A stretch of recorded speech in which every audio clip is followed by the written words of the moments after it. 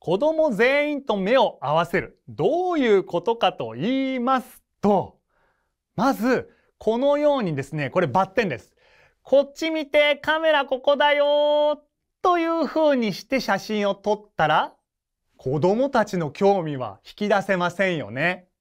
なので、写真を撮る保育者が、まず子供たちに近づきます。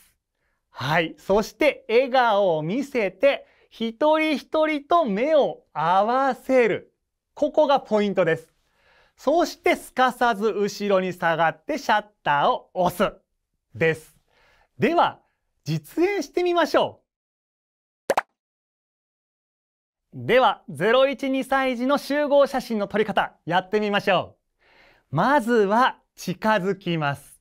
子供たちに近づいて、そして笑顔を見せながら目と目を合わせます。わ、バッチリだね。あ、笑顔出てきたね。いい笑顔出てきたね。バッチリバッチリ。素敵よ素敵よ。あ、いい笑顔だな。バッチリだな。素敵です。